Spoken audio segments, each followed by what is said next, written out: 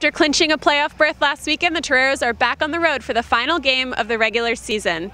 With a win against Campbell this weekend, they'll clinch the PFL outright, and then they'll be back home to start practicing for the playoffs for the second time in USD history.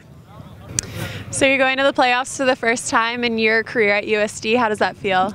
You know, it feels great. Uh, we're actually looking forward to Campbell this week more than playoffs. Uh, Got to keep our minds focused on Campbell this week, so. But we're excited. You have to win the last game in order to be the champion. Should we falter, I would think if my mathematics is right, that we could wind up co-champions. And I don't think that's what we want to do. We we snuck in the back door last year on Dayton as co-champions when they went down to Drake and failed to win the last game. So I'm trying to keep the guys focused because the goal has been all year to win every game in the PFL, which has been very difficult. I think it's been 10 years or more since someone's done that, and we'd like to be the next team that does it. Can you talk about how the O line's been performing this year? You know what? Uh, we're a young O line, but we've been doing pretty well this year. Um, we're inexperienced, but we still have room to get better, and we try to do that every day. Can you talk about what Daniel Cooney has brought to the offensive line this year?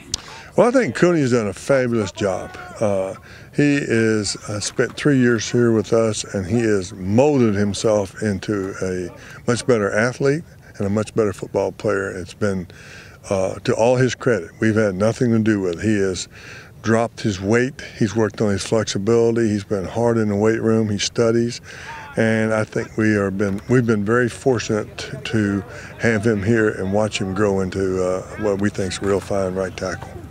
All right, so Coach was just named a finalist, uh, top 15 finalist for the Eddie Robinson Coach of the Year award. Do you have anything to say to him? You know, uh, Coach Lindsey, he's a great coach. He puts us to work every day, and that's why who we are. We hit, we're physical, and he puts us through that every day. So that's to Coach Lindsey.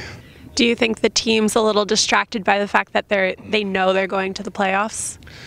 Well, I certainly hope not, and they shouldn't be because uh, that was one of the goals, but this other goal was before that one, and uh, we uh, wanted to win the PFL outright and then go to the playoffs. So there's still unfinished business, and uh, I'm not going to let it slide until we get it done.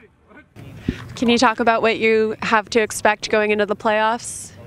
Um, you know what? We're looking forward to wherever we go. We'll find out next Sunday, but uh, we're excited. I mean, we want to get a win. That's definitely what we want to do.